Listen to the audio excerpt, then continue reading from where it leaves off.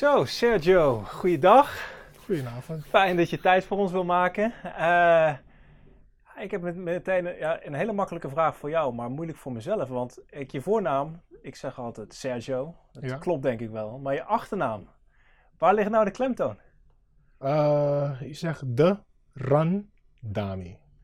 Op Dus de A dus. Ja, klopt. Kijk, Sergio de Randami. Ja, klopt. Niet de Randami, wat je ook nog wel Nee, eens hoort. ja, ik- goed- dat hoor goed ik heel vaak. Maar eh, ja, het is Randami. Betekent het eigenlijk iets, jouw achternaam? Ik heb echt geen idee. eh, nee, denk Misschien het niet. niet, maar Nee. nee, zou zo maar Wat kunnen. ik eh, wel heb vernomen is dat het van eh, Miranda komt, eigenlijk.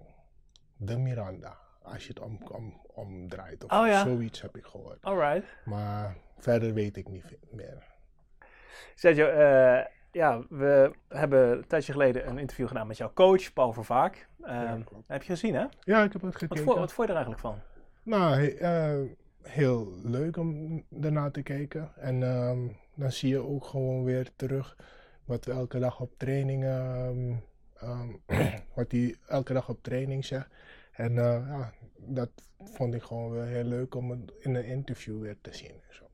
Wat zijn dan dingen, jij ziet hem natuurlijk elke dag, waar, waar, waar je denkt, dat is nou typisch Paul Vervaak, hoe hij hoe die werkt met de groep? Dingen die hij zegt of dingen die hij jullie laat doen? Ja, zeker weten. Met, eh, vooral met ritme en ehm als speelbaar zijn. Dat is eh, eigenlijk als eh, tweede cultuur voor me nu. Want die, die- we horen het elke dag. En zodra je er niet bent, hoor je ja, aanspeelbaar zijn, Sergio. Of aanspeelbaar zijn, eh, de jong. Maar het is, het is wel iets dat we elke dag horen. De ritme aanspeelbaar zijn. En, voor- en voor jouw game, Sergio, want jij bent een big man die onder het bord kan spelen, maar ook van afstand, afstand kan schieten. Moet jij nu anders gaan spelen bij Leiden dan je bijvoorbeeld vorig jaar bij Amsterdam deed? Um, uh, min of meer. Um, bij Leiden, bij Amsterdam had ik de bal meer in mijn handen. Ja. Dus uh, was ik ook derde scorer met uh, Di Meo en Aaron. Nou, hier uh, heb je dan um, wat veel meer scorers. Dus mijn taken zijn gewoon een beetje wat minder. Wat wat aan, veranderd. Dus ik schiet wat minder dan vorig jaar. Ja, ja. Dus dat alleen. Maar qua ja, beweging en eh, in de poses om en bij hetzelfde.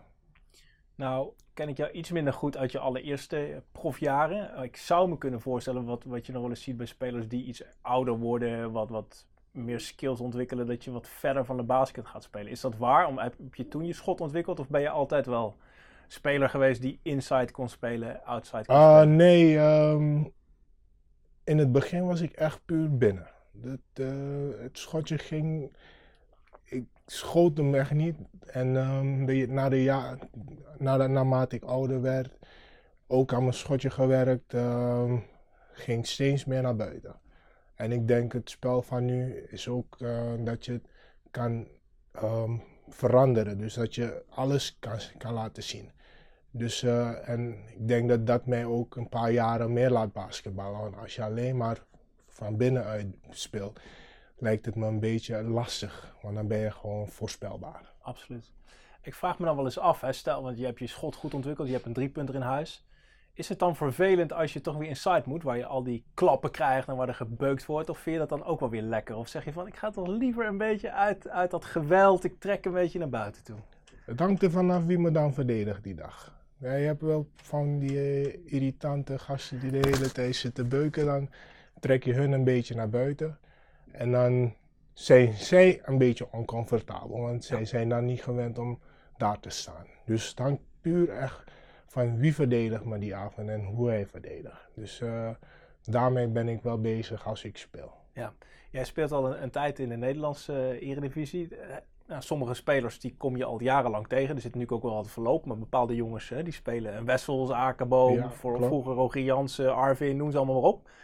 Want je had het een beetje over irritante verdedigers. Heb je, heb je zo'n paar jongens of gewoon überhaupt spelers waar je, waar je lekkere matchup, matchups mee hebt? Dat je denkt, hé, hey, dit wordt weer een nieuw seizoen, ik kom die en die gast weer tegen. Lekker Ehm, battelen. hè? Wat, is wat wel zijn zo wat namen waar jij dan het aan is denkt? altijd wel leuk. ehm, ja, nu speel ik met hem. Dus eh, het was altijd wel leuk om tegen Mo te battelen.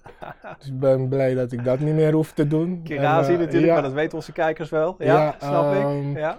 Heb, jij, heb jij nog bij Amsterdam met hem gespeeld? Ja, tuurlijk. Ik heb eh, twee jaren, ja, Oké. tweeënhalf jaar met Mo gespeeld.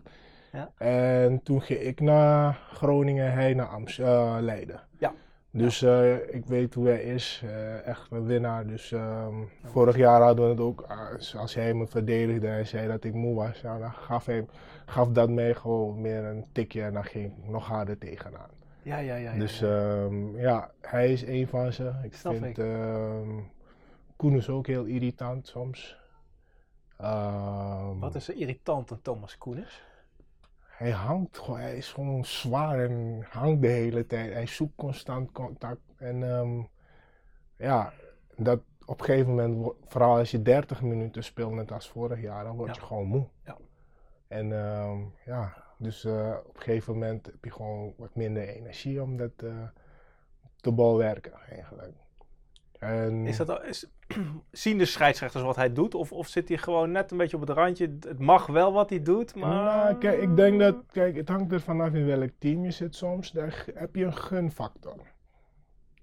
En dan kom je met dingen weg die bijvoorbeeld als je in Amsterdam speelt, dat het niet lukt.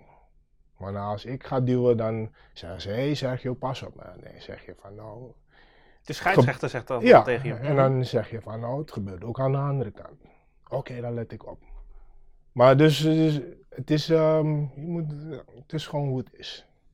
En is dat dan omdat je bij een wat kleiner team speelt, dat je wat minder krediet hebt? Of... Nou, het- dat zou wel Eh, kunnen, denk ik. misschien, Misschien, Ja, ja. Laten we het daarop houden. ja.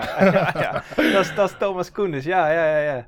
En nu heb je ook, eh, ik vind die jonge gast van eh, Weert ook, eh, hij begint, maar in, gewoon in het totale, niet alleen in de verdediging. Maar hij is ook heel op en coming, denk ik. Die Roelarts, Oh ja. een Mhm. heel fysieke speler. Oké. Ja, en, en, maar hij, hij doet het aan beide kanten, ook in de aanval en in de verdediging. Dus hij is ook heel, heel irritant soms. Eh, heeft Mohamed Krazi van jou dingen geleerd, Sergio? Toen, toen hij jong was en jij toch al, ja, jij bent wat meer ervaren toen, je, toen jullie samen bij Amsterdam zaten? Uh, nee, hij speelde meer, toen, toen meer op de drie. En uh, ja, dus qua verdedigen hielp ik hem, maar qua aanvallen ja, kan ik hem niet echt heel veel bijgeven. Want het is gewoon een ander spel. Eh, Hij, hij is gewoon meer balbehendig dan ik, dus eh, daarmee kan ik hem gewoon niet echt veel meer helpen. Maar nu zeg ik hem ook wel van, hé hey, dude, je wordt wel ouder, je moet op je schot gaan werken. En dan kan je je, je jaren qua basketballen gewoon verlengen. Maar dan ben je niet gewoon alleen een, een, een inside banger, maar gewoon dan kan je meer een all-around speler. Hoe doe je dat zelf, Sergio? Aan je schot werken, is dat iets wat tijdens het seizoen kan? Of, of moet je dat echt in de zomer doen als je gewoon wat meer tijd hebt? Nou, ik heb het beide gedaan. Ehm, gewoon. Het ding is dat je wel heel veel geduld met jezelf moet hebben, want het gaat niet in een jaar. En ehm, ik heb zelfs mijn schot veranderd ehm, toen ik in Amsterdam zat, met Ferry gewerkt. Dus, eh, Ferry Steemets? Ja. dus ehm, ja, het neemt gewoon echt heel veel tijd en geduld. En, nou, en het andere dat erbij komt, is als je, dat je een beetje vertrouwen hebt. Maar als, ehm, als het mechanisme goed zit en je hebt geen vertrouwen, dan heb je niets eraan. Dus, ehm, en dat, dat hielp mij toen ik meer minuten ging spelen, mocht ik meer schieten. Dus eh, dan komt je vertrouwen vanzelf. En dan ja, als je eentje mist, ja, zelfs Stephen Curry mist een schot. Dus Ja. eh, dan komt gewoon echt je vertrouwen eh, een part ervan. En je vertelde, Sergio, van je hebt, je hebt de- zeg maar, de mechaniek van je schot veranderd. Is, is Ja. dat het? Het gewoon, ja, je de bal anders vastpakt, of je hand anders, of je, je vingers anders spreidt, of anders nawijst. Al dat soort dingen ga je dan Ja, klopt. met een, en met dat een je, coach aan werken. ja, klopt. En dat je ook werkt aan dat een bal een backspin heeft en al dat soort dingen. En dat had, en dan wordt het in plaats van gooien, schieten. Want ik gooide de bal vroeger en eh, ja, en op hoop van zegen eh, de bal. Dat, dat je hoopt dat de bal erin gaat, maar nu schiet ik. Dus dat is het verschil. Werk je dan ook, want dat is dan meer de, de, ja, de houding van je armen, je schouders, je knieën, al die dingen. Maar daarnaast moet je ook natuurlijk ruimte creëren om je schot weg te krijgen. Werk je daar dan ook aan? Of is dat dan meer in een, echt in het teamconcept van waar liggen de ruimtes? Hoeveel ruimte heb ik nodig? Neem ik een dribbel? Kom ik van het screen af? Want ja, dat, je kan nog zo'n mooie techniek hebben. Ja. Je moet natuurlijk ook in de positie komen. Ja, klopt. Maar uh, ja, daar werk ik sowieso meer aan nu.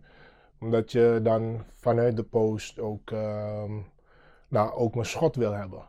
Dus dan werk ik eraan hoe ik, hoe, hoe ik vanuit een dribbel in de post een schot neem en al dat soort dingen.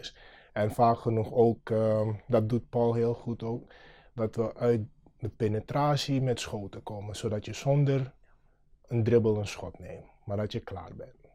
Ja. Dus dan komt weer ritme in um, de aanspraak. Wie zijn er spelers in het team, Sergio, die, die dan een lekkere inderdaad naar de basket toe gaan en dan toch weer die mooie kick-out geven. Of soms we zien ook wel eens een kick-out en dan gaat hij nog een keer door en nog een keer door. Gaat hij naar de hoek, bang, open schot. Ik denk dat iedereen dat heeft in dit team. En dat is het bijzondere van um, um, we gunnen elkaar de bal enorm. En ik denk dat dat zo lekker en dat, dat zo uitstraling, een goede uitstraling heeft in het team. Dus ik kan niet echt zeggen van, hey Jesse doet dat of Wurty doet dat. Ik denk dat alle drie dat, dus iedereen, Wurty heeft het, Mo heeft het, C, uh, Carrington heeft het, dus iedereen heeft het. Dus, uh, William C of niet? Was ja, dat, ja dus, Carrington is een beetje lang hè? Ja, is lang, dus zo noemen we hem gewoon C. Ja, ik zie het iedereen wel doen, ja. ja. Wat is dat voor speler, die Carrington Love? Nou, heel, heel um, gepassioneerde gast. Um, ik, ik, ik, slaap elke dinsdag en donderdagmiddag even bij hem, zodat ik niet terug naar Amsterdam hoef te gaan. Dus dan praten we echt um, heel veel met elkaar. Het is een, een, een aardige gast, heel gepassioneerd, heel gedreven gast.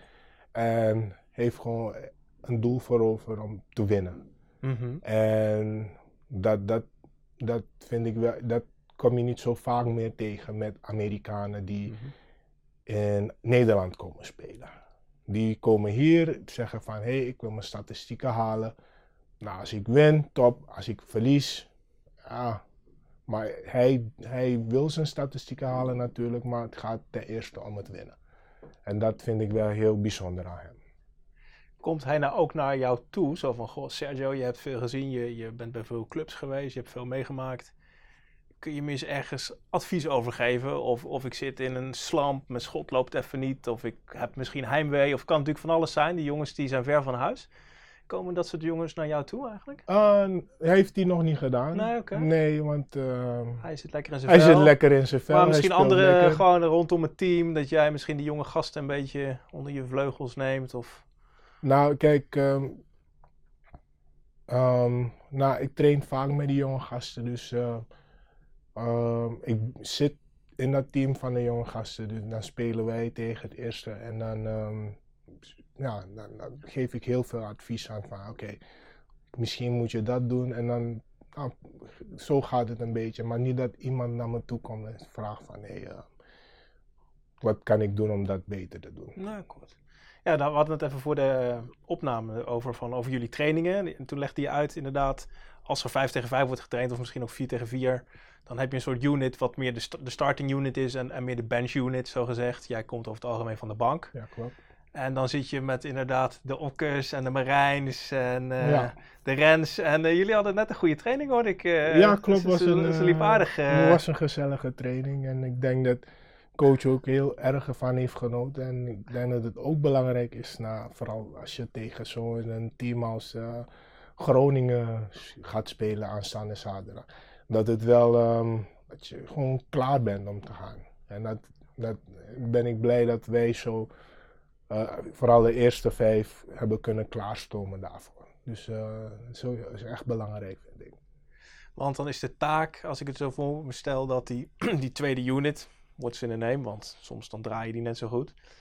De eerste, de basis eigenlijk ook scherp houdt. Ja, uh, dat Zorg is het. dat ze moeten verdedigen. Ja, en dan, dat ze niet te makkelijk kunnen scoren. Klopt. En dan ga je ook niet de wedstrijd in van, oh, ah, dit wordt een appeltje, uh, een, een, wordt gewoon appeltje eitje. Maar dan ben je ook gelijk scherp van oké, nu gaan we er tegenaan. Niet dat je de, dat, je hebt dat minder nodig als je tegen Groningen moet, want je bent sowieso klaar om te spelen. Maar toch het ex, geeft je het extra push eigenlijk om gewoon ervoor te gaan. Absoluut, ja. Ja, Groningen heeft natuurlijk de beste voorbereiding, zou je kunnen zeggen, die je kan denken. Die spelen natuurlijk nog Europees, ongeveer Ja, eh, eens per week. Net in Ja. die periode dat jullie het eigenlijk toch met trainingen moeten oplossen. Ja. En dan moet je toch elkaar scherp houden. Ja, zeker weten. Sergio, zo- zo'n voorbereiding, hè, het maakt niet uit welke tegenstander. eh, hoe doen jullie dat met het team? Eh, je hebt een wedstrijd gehad op zaterdag, meestal, of op zondag. Dan ga je een week trainen. Wat doen jullie allemaal? Je, traint waarschijnlijk op techniek, op tactiek. Je traint in de fitness. Je kijkt misschien video of je krijgt een scouting report mee naar huis. Wat wat zit er zo vast aan zo'n wedstrijd? Wat moet je weten van Groningen?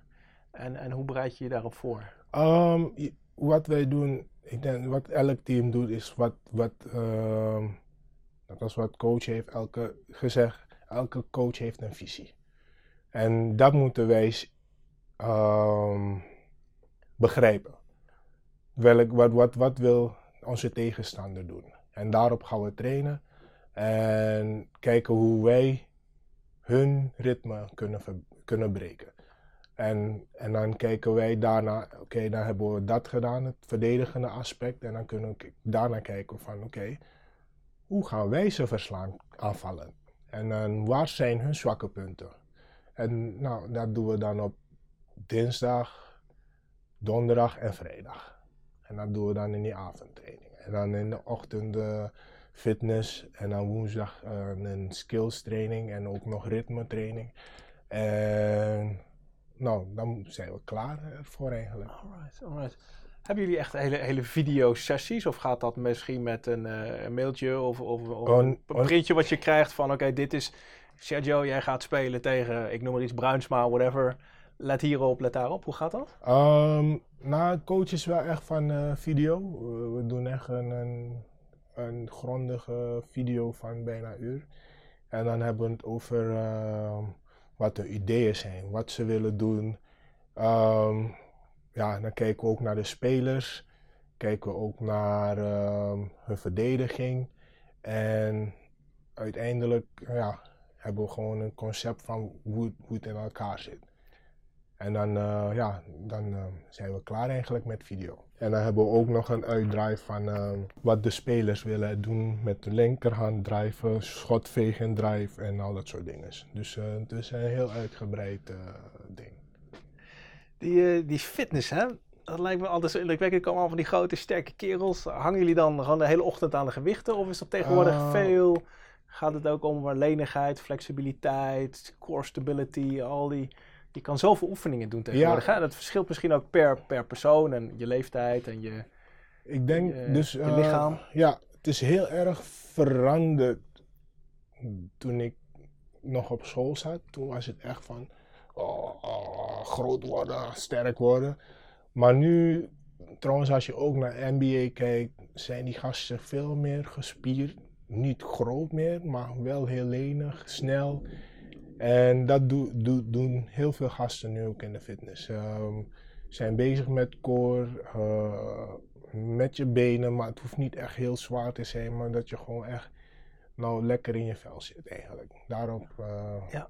komt het eigenlijk neer. Ja, ja. Verschilt misschien een beetje qua spelers. Sommigen moeten toch iets meer van, van hun Ja, kilo's ook ja, hebben. zeker kan me voorstellen. Of zijn toch iets minder atletisch. Ja. Eh, en waar train jij veel op? Ehm, ik train op mijn uithoudingsvermogen meer. Omdat ehm, ja, nou, die, die spieren van me zijn, eh, ja, als ik, als ik er tegenaan ga, raken die verzuurd.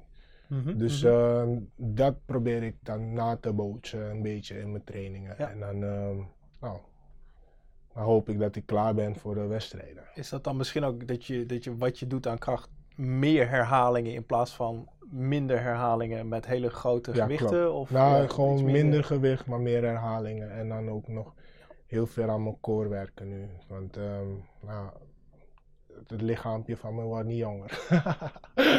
En kun je dat eens uitleggen? Wat is core? Is dat, is dat buikspieren? Is dat je... je... ja, het is gewoon buikspieren en ook soms balans. Ehm, ja, dat is zo'n beetje. Oké. Ja. Uh, de, hebben jullie daar ook begeleiding bij? Dat je een fitness trainer hebt die er je schema voor je maakt? Of Ja, je, tuurlijk. ehm, elke dinsdag en donderdag is er wel een, eh, een, een, een- trainer bij. En eh, voor bepaalde mensen is er wat meer, eh, net als Marijn en Okke, heb je wat meer ehm, begeleiding. Maar voor mij en eh, wat oudere gasten, eh, dan mag je eigenlijk gaan en kijken waar je eigenlijk no- wat je nodig hebt voor je lichaam. Lopen jullie dan eigenlijk tussen de, de, de gewone mensen in de sportschool? Lopen allemaal van die profbasketballers tussen? Of heb je een soort eigen privé nee, eh, nee, nee, nee, we lopen gewoon tussen de gewoon. Ja, ja, we zijn oké. toch ook gewoon, eh, Ja, dus we gooien maar een balletje in een netje. Dus eh, ja, het is niet dat men, eh, ik denk dat Nederlanders nuchter genoeg zijn, ook al waren we heel bekend dat men ons wel eens een gang zouden laten gaan. Dus eh, ja, niets bijzonders. Heb, jij- heb jij, eh, is geen leuke vraag misschien, maar, maar heb, jij, heb je ernstige blessures gehad in je carrière? Laatste jaren kan ik me niet zo van herinneren, maar ik heb Ehm, jou... eh, ja, precies. Ehm, het- nee, het meeste dat ik heb gehad was een eh, gebroken, nou, een, een, een- ja, niet gebroken, een fractuur in mijn fifth metatarso, midden, middenvoetsbeentje en eh, een scheur in mijn kuit. Dat is het je kuitspier. ja, kuitspier. En dat, dat deed me echt zeer. En dat, daar, daar was ik ehm, ongeveer zes, acht weken uit. Mhm. Maar daarna wel gewoon top. Valt best mee, ja, voor zo'n lange carrière. Ja, zeker weten. En, en, ga je, en hoe reageer je dan op zo'n blessure? Ben je daarna toch iets voorzichtiger? Of ga je dan dingen... Of Oh, zeg je wel, weet je, ik ben, ik ben weer fit, ik ben weer klaar. En... nou kijk, het, het, het lastige van... eh, kijk, van mijn voet was oké. was, eh, moest ik alleen in shape komen, want daar kon je helemaal niets aan doen. Het is gewoon ehm, door... ehm, ja, je gebruikt hem zoveel dat, dat, dat je een gegeven moment het bot gewoon genoeg had. En het is een heel veel voorkomende blessure bij basketballers. Ja. Maar bij mijn kuit, ja, die kwam gewoon uit het niets. Dus die, ehm, wanneer je terugkomt, dan ben je wel even van, oké, wat kan ik eigenlijk doen? En wat niet. En dan duurt het wel een paar weken en dan was het weer oké. Maar als het moet gebeuren, gaat het toch gebeuren. Sergio, ik- wat jaartjes terug in de tijd. Weet je nog van, wa- wanneer ben je echt begonnen met je basketbalopleiding? Dat je echt dacht, ik heb talent, ik wil dat. Hoe oud was je toen ongeveer? Weet je dat nog? Ja, niet dat, ik, ik, het is eigenlijk heel vers in mijn geheugen. Ik was eh, eigenlijk, toen wist ik nog niet dat ik talent had, want ik was een dikkertje. En, ehm, Was je al wel wat langer trouwens, of niet? Ook nog niet? Ik was wel altijd groot. oh, ik was wel altijd groter dan mijn, mijn, mijn leeftijdsgenoten. En eh, een vriend, eh, kennis vroeg me van, hey, wil je gaan basketballen? Ik zei, ja, waarom niet? Eh, dus we zijn begonnen. En het ging echt vrij moeilijk, want ja, dik zijn en sporten gaat soms niet echt samen, vooral niet in het begin. Maar naarmate ik ouder werd, werd het echt veel leuker. En toen ik 12 jaar werd, schoot ik de lucht in. En toen had ik echt door van, hé, hey, dit kan hem wel worden. Dus ehm 12 jaar begon het echt goed te gaan. Ehm, Waar, toen- woon, waar woonde je toen, Sergio? Suriname en Paramaribo. Ja. Dus eh 12 jaar ging het goed. Maar de dame die, me, die, me die ons les gaf, eh, die raakte zwanger. Dus eh vond niet meer leuk in mijn oud team. toen naar een andere club gegaan en toen ging het echt heel goed, want we hadden, ik had echt een van de beste coaches, eh, nu overleden, Rudy Neyman. Ehm, en die heeft me echt goed klaargestoomd qua fundamentals. En toen ik 14 was, toen wist ik wel echt van, nou, dit wil ik wel echt doen. En ehm, een heleboel leuke dingen gedaan, tot mijn 16e. En eh, tegenslagen had qua, Suriname is niet altijd veel geld. En dat is wat Nederlanders eh, wel het voordeel van hebben, dat je je je talent kan meten de hele tijd. Oké. Dan kan je vanaf je veertiende be- begin je al U14 Nederlands team. Dan meet je je, krachten. En dat heb je gewoon niet in Suriname. Dus mijn enige krachtmeting is gewoon Suriname. Ja, op die manier. Mhm. Er is Dus- geen internationaal... Eh, eh, helemaal nee, niet. nee, en als je nee, internationaal speelt, dan ehm, ga je naar Guyana, Frans-Guyana. Dan denk ik van ja, op een gegeven moment heb je het gezien. Dus, Dat is nog eh, te bereizen, maar inderdaad, het is natuurlijk echt Zuid-Amerika echt een basketbalcontinent, maar er is niet zomaar budget om even lekker Nee. tegen Argentinië of Brazilië te spelen. Nee, nee, nee, helaas. nee, Nee. helaas. Toen niet. Nu, nu gaat het wel wat beter. Dus ehm, toen, ik, en, toen ik 16 was, begon ik dan eh, met, net als Troy nu, eh, met eh Heren 1 te, te trainen. Oh ja, noem hem even voor de kijkers. Nieuw talent beleiden. Hoe heet, Ja. die, hoe heet die voluit, weet je dat? Eh, ik weet, ik ken We alleen zijn Ja. voornaam. Want Jonge ben- gast die meetraint met het eerste. Ja, heel, heel atletische gast. Zo atletisch was ik niet. Ik was nog, eh, ja, dat was, dat was helemaal niet zo atletisch. Maar toen deed ik al mee, want ik was al om en bij Ja. twee meter. Dus, eh, en ja, met het eerste meegedaan. Toen ook nog met het Surinaams team naar Guyana geweest voor eh, een CARICOM wedstrijden. En dat was echt zo leuk, omdat je dan tegen landen net als Jamaica Ik wou zeggen, dat, eh, spelen. dat klinkt dus de Caribbean eh, Ja.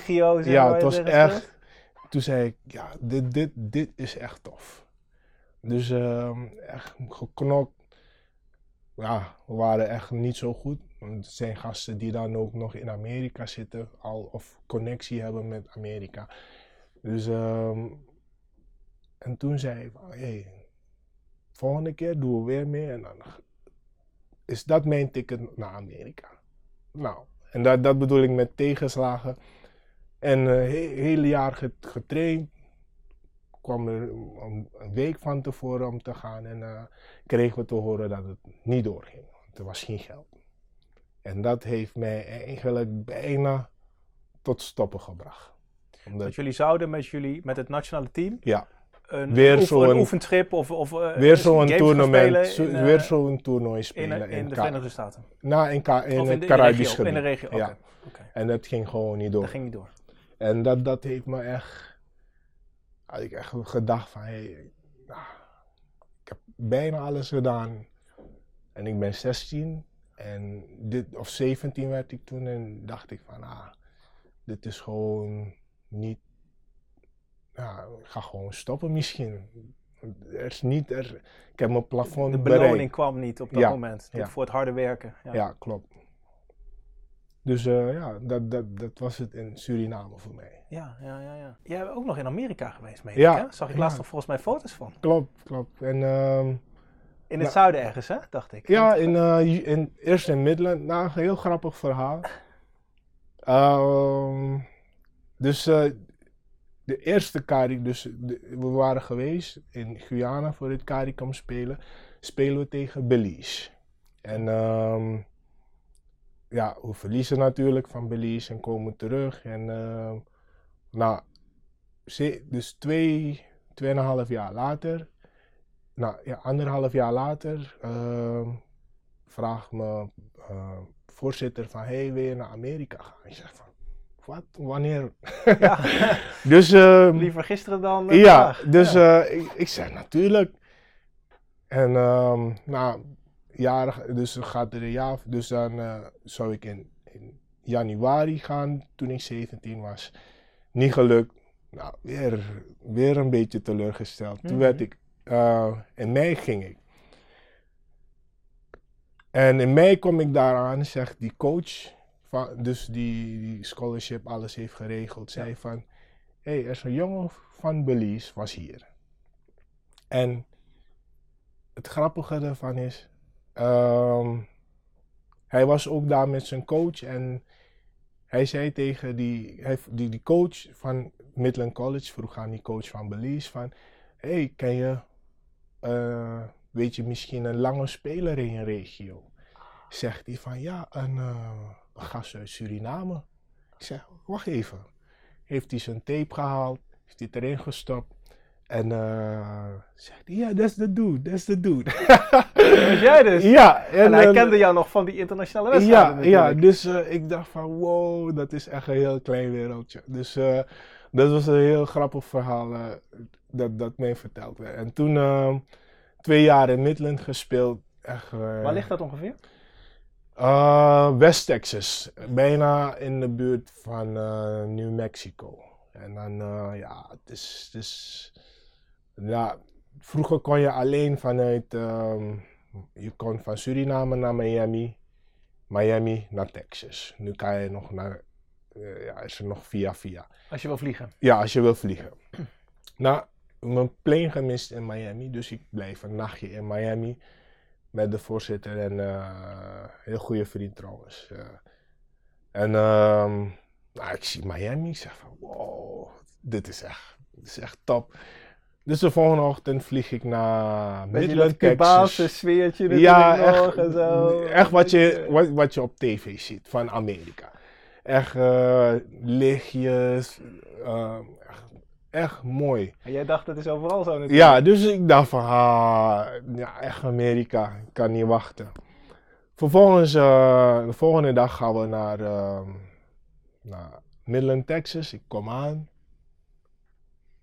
Droog. Het was bijna zomer. Droog. Ziet bijna net als van die uh, cowboy dingen, uh, western movies. Echt gewoon droog. En ik kijk wauw ben ik hier beland nou. Maar uh, echt beste school waar, ik, waar je gewoon kan groeien. Want er is niets anders om te doen dan basketballen en school. En dat, dat, daar heb ik me ook echt heel, heel goed gevormd. En um, de kans gekregen om, nou, nou, dat heeft me gewoon de basis gegeven van hard werken en, hard werken en gewoon uh, goede topsportmentaliteit gegeven. Hoe oud was je toen? Ik werd die zomer 18. Dus ik ging daar toen ik 17 was. En die coach was er even bij waarschijnlijk om je te introduceren, maar daarna was je alleen, denk ik. Ja. Hè? Je kende ja, in het begin niemand. Ja, klopt. En dat, dat ging je goed af. Ja, joh, ik ben niet zo een. Uh, ik, uh, ja, ik belde mijn moeder eens in de maand of zo en dan uh, top. Maar het is. Skype was er nog niet? Nee, dus dat begrijpen die kinderen. Ik klink zo oud nu. Maar dat begrijpen kinderen van nu helemaal niet. Uh, ik kan niet eens een computer. Waren dure telefoontjes? Ja, nee, niet eens. Oh, dat viel mee. Nee, ja, okay. er waren geen dure telefoons toen. Uh, ja, ja, ja, ja, Had je flipphones misschien? Ja, ja, ja, Ik, had, ik had geen cellfoon. Ik had alleen een kamertelefoon. Uh, toen was er nog MSN Messenger. Wat je, wat je zo af en toe nog kon uh, gebruiken. Maar in die zomer had ik niets. Want in de zomer heb je summer school. En gewoon niemand was daar. Dus dan ben ik met mijn kamergenoot van Georgië. Um, ah, dat was ook heel, heel bijzonder. Um, ja, heerlijke gast. Ik kon geen woord Engels spreken. En ik was lichamelijk achter. Dus okay. uh, ik was gewoon een, het was gewoon een jongetje. En hij, je, je was lang, maar... Maar qua spieren ja. gewoon niet, niet volwassen genoeg. En um, hij hielp me dan met mijn lichaam, want zijn vader was een heel goede uh, volleybalcoach. Dus alle sprongoefeningen, pliometrische oefeningen hielp hij me met daarmee. En ik hielp hem met Engels spreken. Dus ik weet niet hoe, het, is raar als je met vreemdelingen in het buitenland bent. Lijkt het alsof je gewoon een universele taal kan spreken op een gegeven moment. Het is heel raar. Maar op een gegeven moment, de echt een um, heel goede gast. Spreken elkaar nog. Hè. Nu, nu is, is hij basketballer gebleven ook? Ja, en uh, hij speelt nog steeds prof in uh, Georgië. Ja, ik heb de kans gekregen om hem met Amsterdam te zien. En zijn broer speelt nog steeds ook, of speelde. Maar ze waren ook vaak hier uh, in Nederland met het Georgisch team. Dus ja. elke keer als hij hier kwam, wow. ging ik hem zien. Hoe, dus, heet, uh, hoe heet die jongen?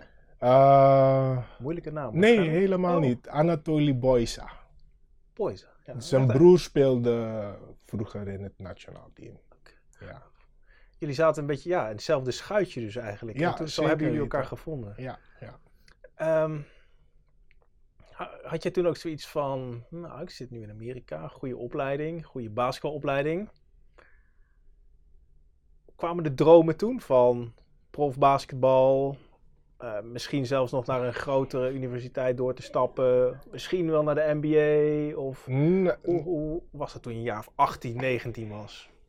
Ehm, NBA werd gelijk eigenlijk klaar. Omdat je, ik speelde tegen een gast die, die, die. En dat zou ik nooit halen. Dus gewoon realistisch zijn. Ik zie dus wat hij kon, hoe hij kon springen, dribbelen, schieten. Dan zou ik er nog zoveel uren die uren die hij al had, zou ik niet inhalen. Dus dat, dat, dat, die droom was weg. Dus het enige dat ik nog kon is zeggen, hey, ga naar Europa.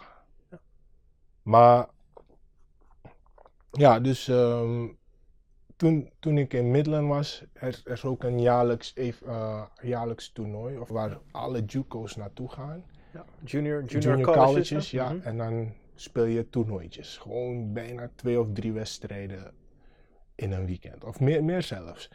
En eh, daar heb ik het heel goed gedaan. En ik kreeg zoveel brieven van scholen binnen. Dus op zich naar een andere, want die- op een JUCO heb je maar twee jaren. Ja. En eh, daarna mag je naar een andere school, moet je naar een andere school. Zij het een divisie 1, 2 of 3 of NAIA. Maar toen ik die brieven kreeg, waren allemaal divisie 1. Dus ik zou sowieso naar een divisie 1 gaan. Mijn optie was dan, als het een mid-major of low major zou zijn. High major, dan ben ik dan weer te klein voor. Dat zijn eigenlijk de conferences, hè? Eh, van de ene conference, de ACC, Ja. de Pac-10, of Ja, klopt. Big East, noem ze allemaal op. Dat zijn echt hè, de aller, allergrootste. Ja, en daar, daar was ik gewoon niet, niet goed genoeg voor. En dat weet ik ook. En dan eh, zat, dat, zat, zat ik dan in een mid-major tot low-major scholen. Oké. En daar, daar heb ik echt heel veel keuzes gehad. Was mijn keuze naar Houston de beste? Denk het niet, maar, maar waar, heb ik een hele goede relaties opgebouwd daar? Ja. Dus eh, ja, moet je ermee leven. En goed, het is wijsheid achteraf. Hè? Dus blijkbaar kijk je er nu zoveel jaar later, meer dan tien jaar later, meer dan Ja. vijftien jaar later op terug. Van, wat, wat had je misschien, als je met die kennis toen had gehad, wat had je anders gedaan? De fout die ik heb gemaakt is ehm, niet gaan voor wat goed voor mij was. Dus als je bijvoorbeeld kiest voor een school, moet je kijken van, hey, wil de school mij hebben voor mij of wil de school zich hebben zodat ik, zodat ik eh, ga rebounden of eh, ehm, de garbage man ga Of op, zijn. de- op de training zo lekker kan Ja, buffelen? Of zo. ja. Ter- ter- Terwijl als ik had gekozen om te zeggen van, hey, ik ga naar eh, UCF bij wijze van spreken, dat, dat was eigenlijk mijn keuze. Dan, ik weet niet, hadden ze me misschien meer gebruikt als, en dan was ik beter geworden. Want uiteindelijk is basketbal, of word je alleen maar beter door te spelen. Mhm. En niet op training. Training word je, je, ja, je wordt beter, maar als je hem niet kan vertalen in een wedstrijd, dan ga, die, ga je niet beter worden. Dus eh, dat, ook al zou je dan goed zijn, ja, je hebt de statistieken niet, je hebt eh, Ja, het bewijsmateriaal zo gezegd niet, je hebt de videotapes niet, dus niemand ziet het eigenlijk. nee, maar als je je- niet in die wedstrijd speelt. ja, uiteindelijk moet je kunnen presteren in een wedstrijd. Dus eh, ja, dit is wel lastig, maar je moet je kunnen, kunnen vertalen in een wedstrijd. En dat, dat ja, was het gewoon niet in Houston. Het was gewoon meer een, een guard georiënteerde offense. Dus dan het enige dat ik moest doen is screen zetten en rebounden en scoren. Dus de enige manier dat ik tot scoren kwam is Ja, ja, ja, ja, ja, ja. ja. mijn eigen buffelwerk. Want hoe zat die timeline? Je zat bij Midland en toen, Midland, twee jaar, tweeënhalf jaar Houston. Omdat je dan een, kreeg dan een, ik wist niet wat ik wilde doen. Ik vond basketbal wel heel leuk.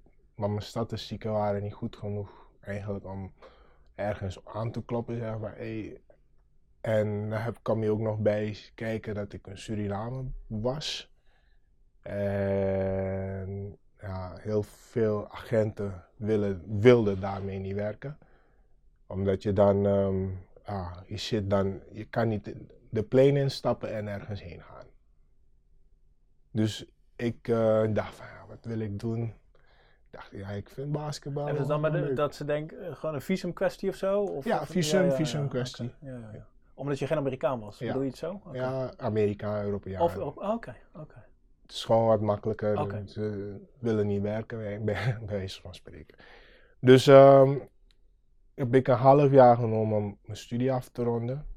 Maar ondertussen dan in pro-M's, ehm, Mhm. al dat soort dingen spelen en in shape blijven. Dat zijn pros en amateurs hè, door elkaar. Ja, Ja, amateurs. Ja, goede wel- amateurs natuurlijk. ja goeie- het zijn, maar zijn, die niet zijn onder gasten, contract staan ja. bij een profclub. Klopt. Ja.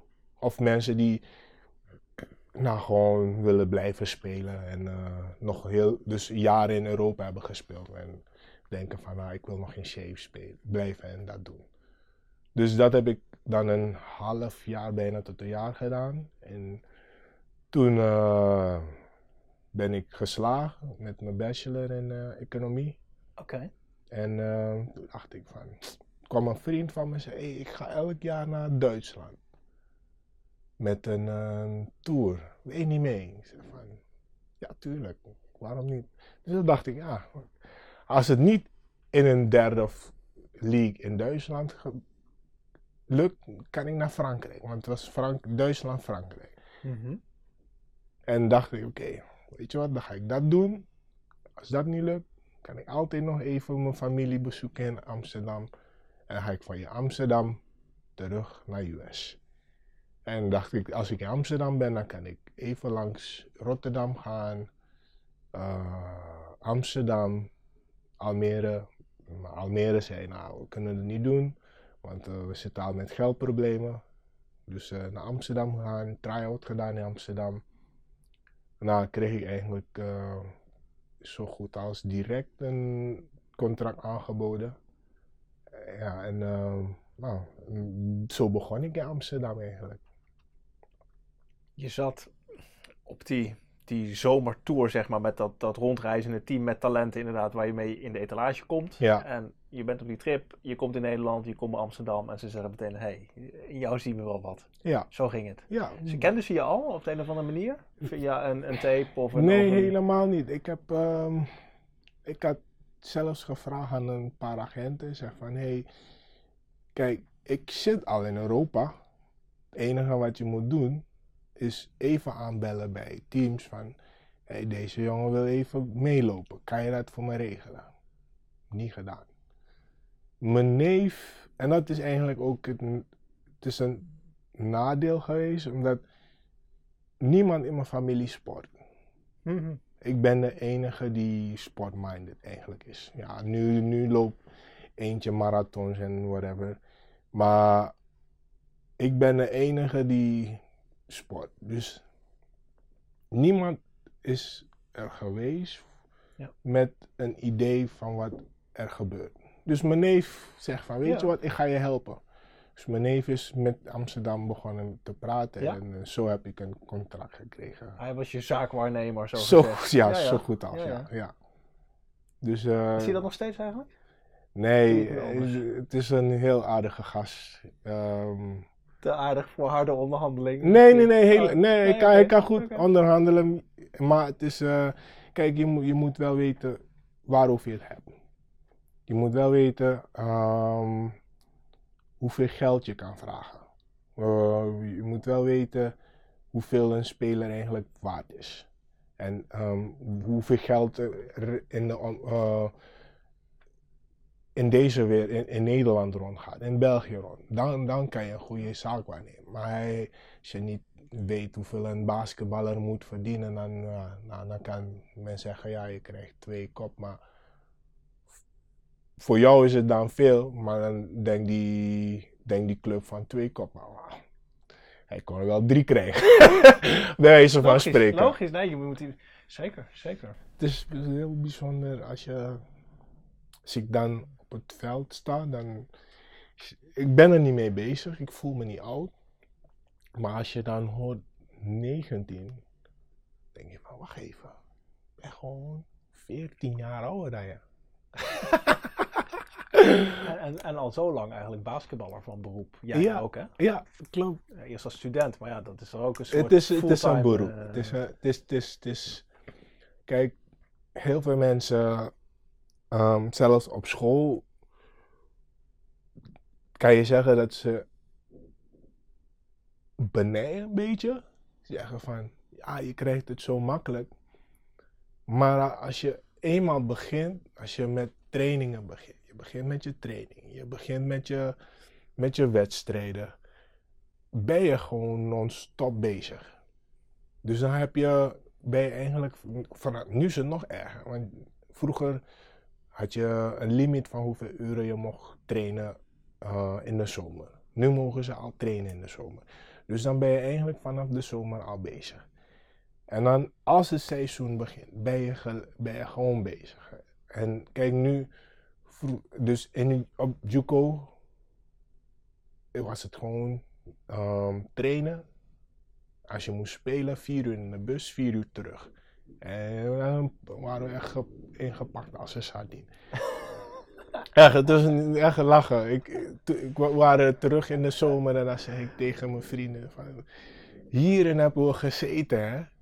Dus dan... eh, en we hadden ook zo'n coach... Hij, als we de nacht... Als we de nacht terugkwamen om drie uur... En je moest naar school om acht uur... Ging hij gegarandeerd om, om te kijken als je bent geweest. En als je dat niet deed... Kreeg iedereen straf. Dus het, het is wel echt pittig. Dus, en ook als je bijvoorbeeld, eh, dan ga je nu naar Houston. Ja, zeggen ze, oh ja, je krijgt alles. Je krijgt schoenen. Maar dan ben je aan het trainen, twee keer per dag. En als je moet spelen, vliegen, terug, weer spelen, vliegen. Dus het is, het is, het is heel intensief hoor, als je bezig bent. En dan heb je dan een maandje dat je niets hebt. Of zo, of twee, drie maanden. Maar als je bezig bent, is het echt. eh, Ah ja, en, en kijk, werken. jij hebt ook je opleiding daar afgemaakt. Dus je bent niet alleen bijna fulltime met die sport bezig. Maar je, je moet dus ook nog je colleges doen. Ja, je, zeker je weten. Je de examens doen, et cetera. ja, ja, ja, ja. En, eh, ja, en eh, ja, natuurlijk, het is wel aangepast naar de speler toe. Bepaalde vakken worden heel makkelijk gehaald, maar soms moet je wel even gaan studeren en de boeken gaan zitten.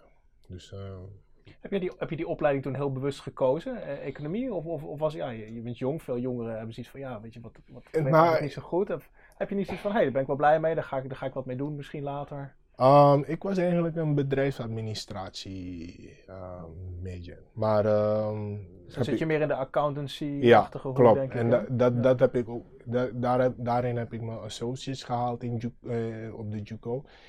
En toen eh, richting Houston. Daar was we echt. Het is een van de beste business schools in, in Texas. En daar moet je wel een gemiddelde van 2,5 of 4 hebben. En daar zat ik net onder. Mhm. Dus toen heb ik met mijn at- athletic eh, advisor gesproken en van, van wat zijn nu mijn opties.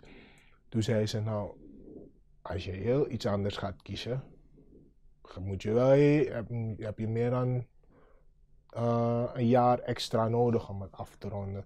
En toen hebben we gekeken naar economie. En dus die hebben dezelfde voorvakken. Maar heeft wat eh, minder hoge eh, cijfergemiddelde. Ja. Dus toen eh, economie gekozen. Ja. Zit dat nu al in je achterhoofd van je bent 33, nou, misschien speel je nog vijf jaar, misschien nog wel tien jaar. Van goh, wat wil ik daarna gaan doen? Wat wil ik met die achtergrond? Of... Ja, tuurlijk zit het in mijn achterhoofd. Ehm, ben er wel, vooral sinds het faillissement in Den Helder, ben ik echt steeds meer bewust mee bezig geweest. En gewoon, nou, wat wil ik eigenlijk daarna? Want eh, ja, het basketballen is helaas niet, dus ja, misschien wel als coach, maar als Mhm. speler kan je hem niet je hele leven doen, helaas. En het is helaas ook niet zo in Europa of in Nederland dat je tien jaartjes basketballen en uh, 40 jaar pensioen. Helaas niet, helaas niet. Zou erg leuk zijn, maar nee. Dus, uh, dus ik, ik zit er weer elke keer mee.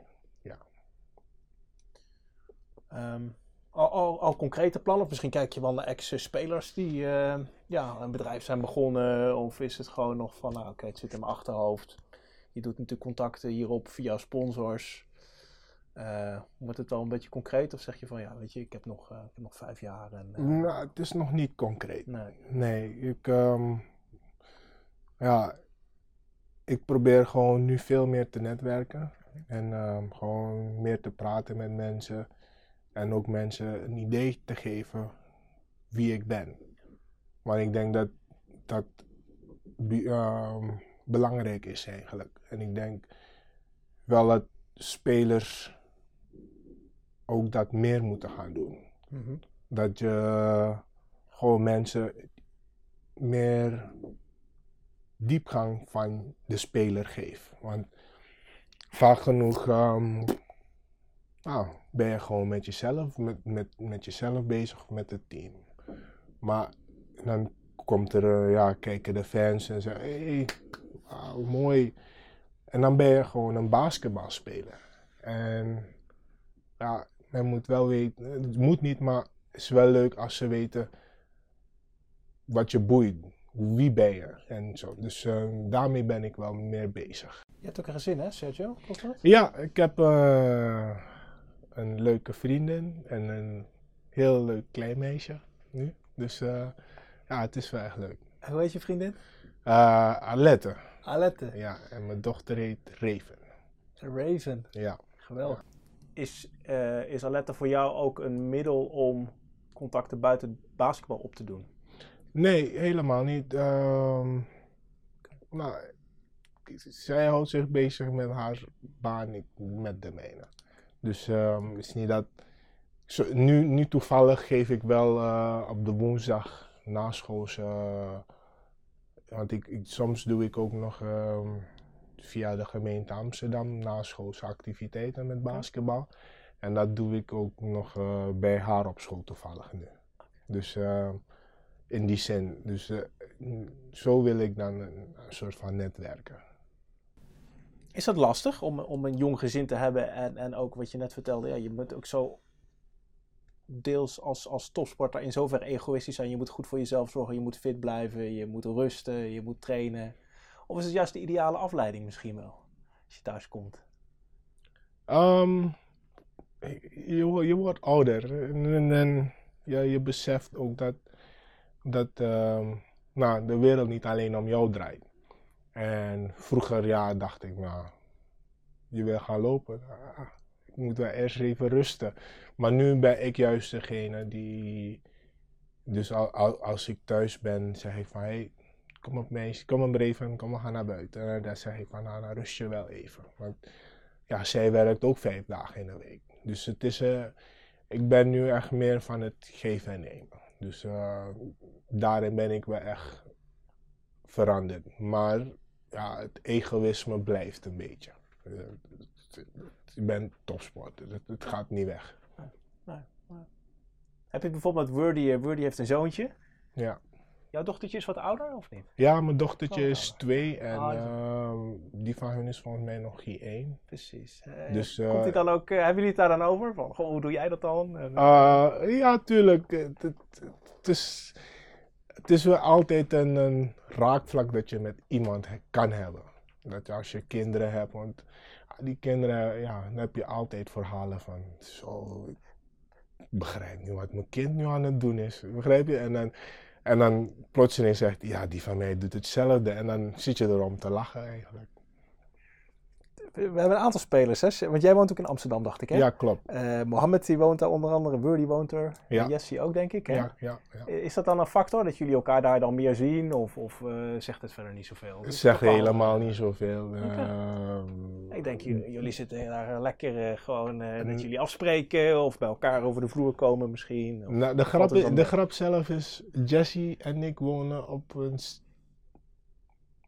200 meter van elkaar misschien.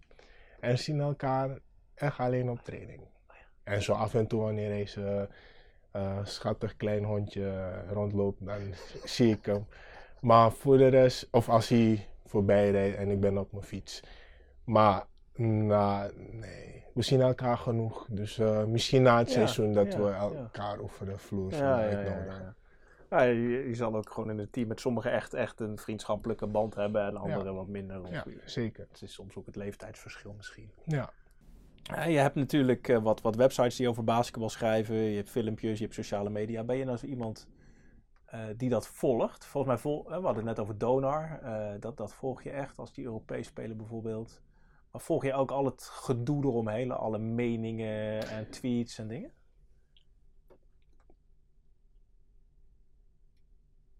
Nee. Ik, dus als ze in de kleedkamer komen en we het wat over hebben, ga ik wel even kijken. Maar het boeit me eigenlijk helemaal niets. Maar ja, ze hebben, iedereen heeft een mening. Maar uiteindelijk vind ik wel dat je, eh, ja, wat, als ik soms ernaar kijk, vind ik het heel negatief. En niet opbouwend. Niet, niet van, hey, misschien had dat beter gekund. Of dat, nou, niet, dus dat is niet opbouwend. Niet positief naar elkaar toe. En dan ehm, kijk ik ernaar en denk van, ja, die weten er ook helemaal niets van. Dus ehm, ja, net als als je bijvoorbeeld naar het Nederlands team kijkt. Ja, dan zeggen ze van, ja, ah, het is toch gelukt denk van, hé, hey, wees blij voor die gasten. En, en vier het met ze mee. Gun het ze. En, en daarom kijk ik niet echt naar die, Nee. die basketbalwebsites en zo. Nee, nee. Ben jij daar buiten van, als je het echt, echt hebt over de wedstrijden zelf, natuurlijk alles wordt uitgezonden, Euroleague, NBA, League Pass, et cetera.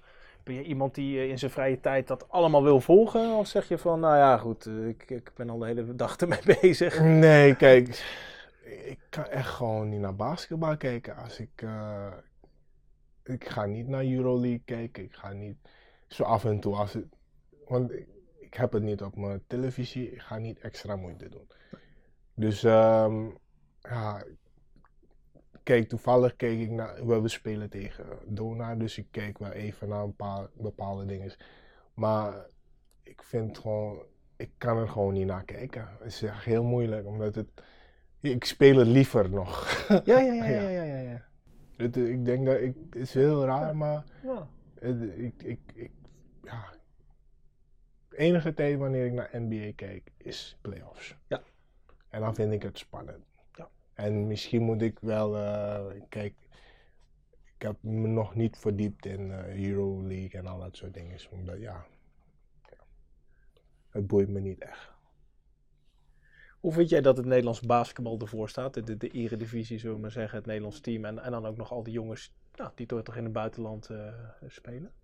Ik denk, ik denk echt dat, er, het aan het groeien is eigenlijk. Want gewoon als je kijkt naar hoeveel mensen, eh, hoeveel Nederlanders in Amerika zitten, in, eh, in het buitenland, dus in Europa zitten en niet, geen slechte league spelen, best goede league spelen. En als je ook kijkt naar hoe ze m- met Nederlands team in de, ehm, in, in, in, de voorrondes doen, dan vind ik het echt dat het aan het groeien is. En ehm, in, mate dat, dat gasten zijn atletischer nu. Als je ze vergelijkt met eh, tien jaar toen ik voor het eerst hier kwam. Dus als je gewoon naar het nationaal team kijkt, heb je gewoon veel meer atletische gasten. En ik denk dat dat de reden is waarom ze zo goed mee kunnen draaien. Heb jij, eh, je zat een tijdje geleden nog bij Nederland B, eh, meen ik. Heb een paar hele leuke wedstrijden. Heb jij, heb jij in het Nederlands team gezeten eigenlijk? Nee, joh. Of mocht eh, jij daarin? ik- vanwege je, je, dat je ook voor Suriname hebt gespeeld? Het was een, een vriendschappelijk toernooi. Dus dan mocht ik mee, meegaan. Maar ik mocht. Ik was toen nog geen Nederlander. Dus eh, dat jaar daarna.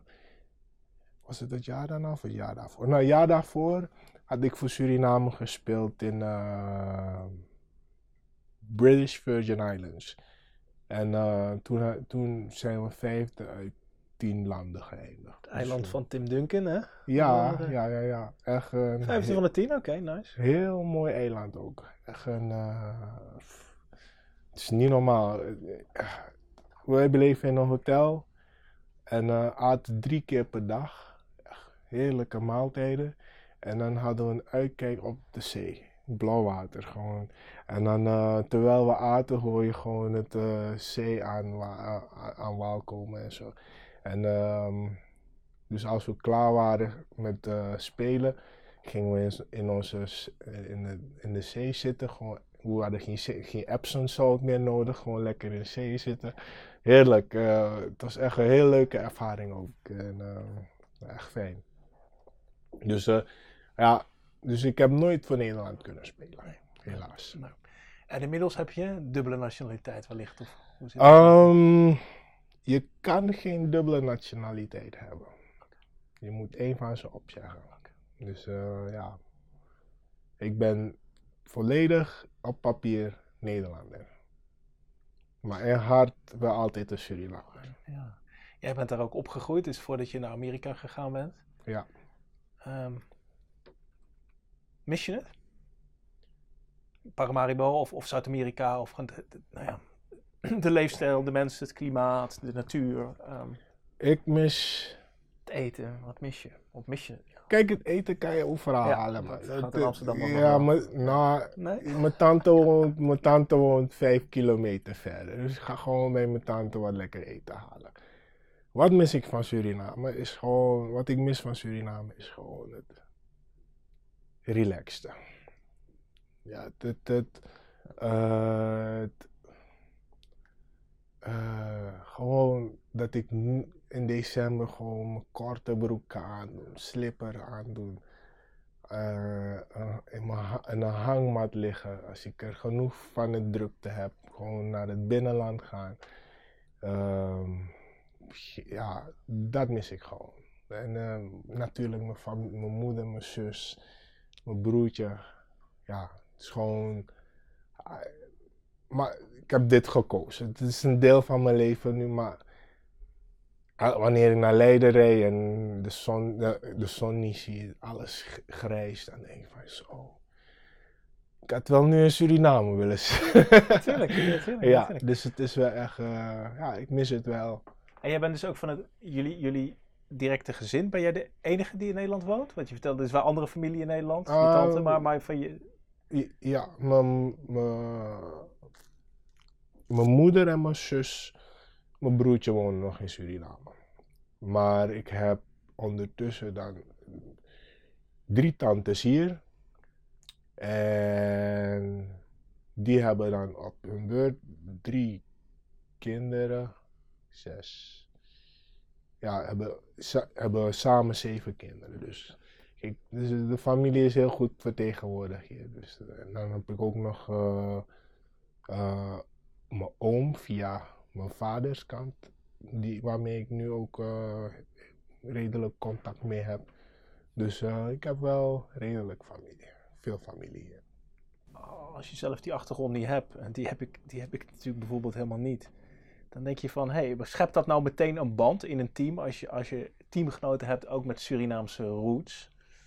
Of in, dan denken mensen van buitenaf wel eens van, oh, weet je, dat zijn de Surinamers onder elkaar, of die hebben meteen een klik. Werkt dat zo? Of, Nee. of hangt het er heel erg vanaf? Nee, kijk, het is toch anders. Kijk, als je in Suriname bent opgegroeid en hier komt, is het toch anders als je een Surinaamse roots hebt. Ja, Want, want, Ja. want ja. wat wij daar hebben, wa- wa- wat ik daar heb meegemaakt, kan je hier niet meemaken. Dus, dus het is toch anders. En ehm, vaak genoeg eh, worden kinderen hier ook mi- minder Surinaams opgegroeid. Terwijl als je daar bent, ehm, spreek je bijna alleen maar Surinaams. Dus als, zeg bijvoorbeeld als ik met een Surinamer Ja. hier zou spelen, dan zouden we wel veel meer met elkaar optrekken, bij wijze van spreken. Maar het komt puur om, om, om een achtergrond. Tuurlijk, je hebt daar op school gezeten. Ja, Ja. ja, ja.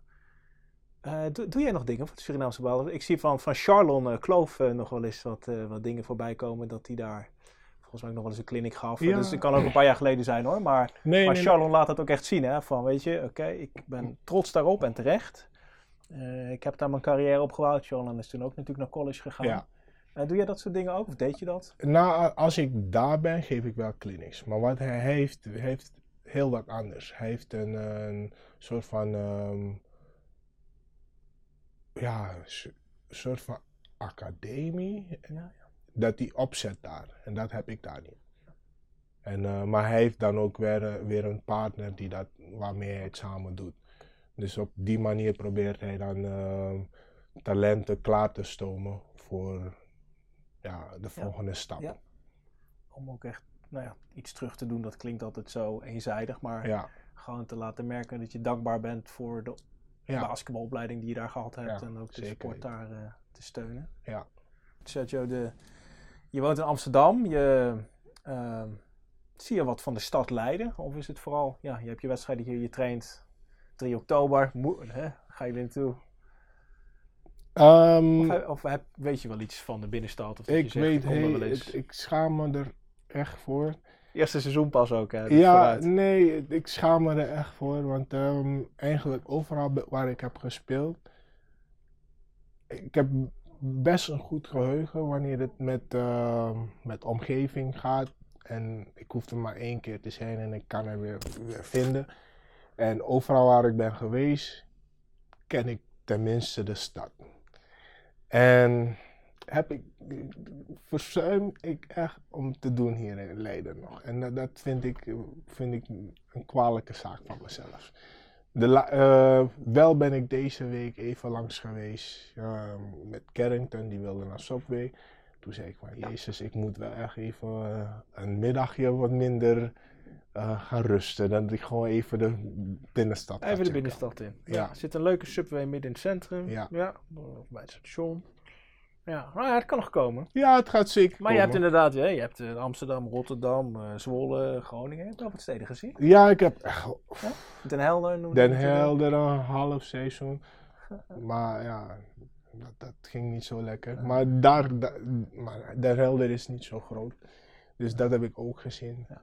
Maar ik ben wel echt nieuwsgierig naar, nou, naar plekken. Dus Ja, ik kan me voorstellen, de sporthal is natuurlijk niet, eh, niet bepaald in het centrum hier in Leiden. Eh, het is ook niet zo dat je makkelijk even met je auto naar het centrum in komt altijd. nee, klopt. Dus, maar goed, eh, nou ja, wie weet. Ja.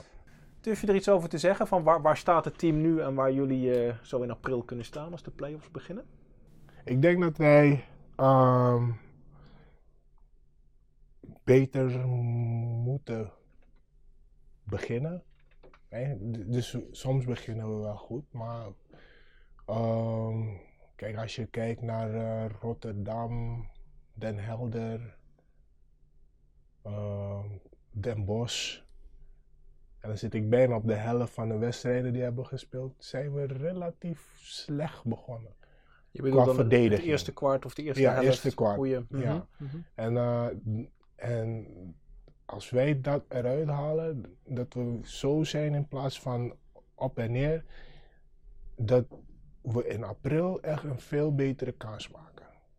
En ehm, nu ook hoor, maar dan zijn we gewoon meer constant. En we moeten gewoon, ja, die start echt, eh, het hoeft niet uitstekend te zijn, maar het moet gewoon stabiel zijn. Niet dat men 10 punten voor komt te staan of t- 15. En dan moeten we weer knokken. En dan, ja, hoop dat we dat gewoon eruit halen. Wat, is je, wat kan jouw eigen rol daarin zijn om daarvoor te zorgen? Ehm, mijn, eigen, mijn rol daarin. ehm, ik denk dat ik gewoon agressiever moet zijn. En vooral aanvallend. En ehm, zodat het wel wat minder druk is op onze guards. En ja, en als dat gebeurt, en, en mijn schoten maar dat het spel gewoon wat beter wordt. Dus dat is, dat is mijn, ehm, mijn ervaring of mijn optiek daarop. Heb je het gevoel dat je daar al wel qua speeltijd en, en, en hoe, hoe, je, hoe je je teamgenoten met je omgaan, dat, je- dat je daar wel de ruimte voor krijgt? Of moet daar ook nog wat in? Goeie. nou, het, het gaat steeds beter. En gevoelsmatig gaat het echt steeds beter. En ehm, nu zit het gewoon, vind ik, tussen mijn oren. Gewoon die bal erin knallen en dan, uh, ja, uiteindelijk is het maar basketbal. Ja, toch? Uh, ja, en gewoon niet zoveel uh, erover nadenken. Ja. Is het dan, dan inderdaad dat je zegt, ik zou vaker het schot echt willen nemen? Of zeg je van, nou, ik neem ze wel, maar ze vallen nog even niet? Uh, of toch iets meer looking to score misschien Een combinatie van beide. En niet alleen kijken om te scoren, maar gewoon actie ondernemen. Gewoon gaan. Gewoon basketballen. En uh, ik denk dat ik, nou, gewoon verzuim soms daarin. Maar ik denk dat het steeds beter gaat. Ja, ik hoor hele positieve geluiden, niet alleen van de coach, maar ook nou, ik denk dat we het ook in dit interview uh, gezien hebben, je persoonlijkheid binnen een team.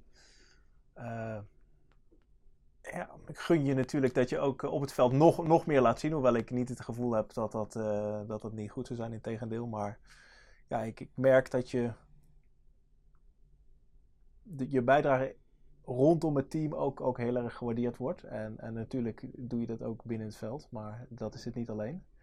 Dus ik denk dat je uh, ja, Leiden heel blij met je mag zijn.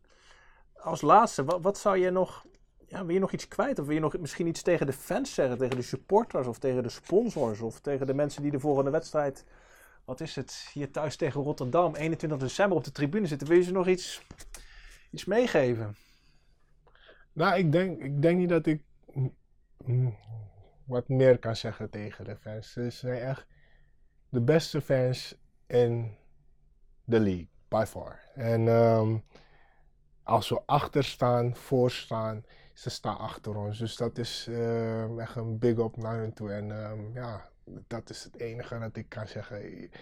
Ik, kan niet zeggen ik wil het meer of minder. Het is gewoon echt al top. Dus uh, het is echt heel fijn om voor één, ja, nou, om aan de andere kant te zitten. Want al, al die andere jaren heb ik het ja, moeten ervaren als irritant. maar nu vind ik het, ben ik echt blij dat ik gewoon het ervaren als een, een push in de back. Goed zo, Sergio. Mooi om te horen. Uh, ja, ik denk niet dat de fans hun excuses gaan aanbieden voor al die jaren dat je bij de tegenstander speelt. Want zo fanatiek zijn ze wel. ja. Maar uh, ja, heel fijn uh, dat je nu ook de energie terugkrijgt. Ja, zeker. Ik wil je enorm bedanken voor je openhartigheid. wat je van jezelf hebt laten zien. we hebben je wat beter leren kennen. Nou, heel veel succes in de, in de komende wedstrijden. Laten we daarmee beginnen. En wie weet komen we je ook in de Leidse binnenstad een keertje tegen. Heel veel voorspoed, Sergio. Dank je wel. Bedankt.